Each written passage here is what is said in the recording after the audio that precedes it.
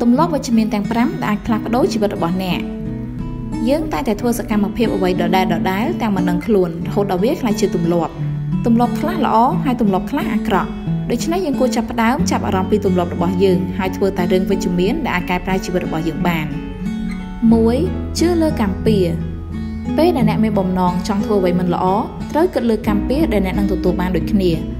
ពេលដែលអ្នកធ្វើអំពើល្អត្រូវចេញពីចិត្តដែលពិតប្រាកដមិនមែនដោយសារចង់បានអ្វីពីគេឡើយ2ធ្វើការស្ម័គ្រចិត្តធ្វើការស្ម័គ្រចិត្តជាមួយមនុស្សត្រូវការជំនួយនិងជនងាយរងគ្រោះពិតជាអាចផ្លាស់ប្ដូរអ្វីមួយក្នុងជីវិតរបស់អ្នកបាន3ចំណាយពេលជាមួយមនុស្សដែលអ្នកស្រឡាញ់ប្រាប់មនុស្សសំខាន់របស់អ្នកថាអ្នកស្រឡាញ់ពួកគេហើយចំណាយពេលជាមួយពួកគេឲ្យបានច្រើនតាមដែលអាចធ្វើទៅបានព្រោះយើងមិនដឹងថាពេលណាដែលយើងត្រូវបែកបាក់គ្នានោះទេ4កុំវិនិច្ឆ័យគេឈ ប់ធ្វើការវិតម្លៃឬវិនិច្ឆ័យអ្នកដទៃព្រោះគ្មាននរណាម្នាក់ល្អឥតខ្ចោះនោះទេទទួលយកភាពខុសគ្នារវាងអ្នកដទៃហើយរៀនពីអ្វីដែលយើងមិនមាន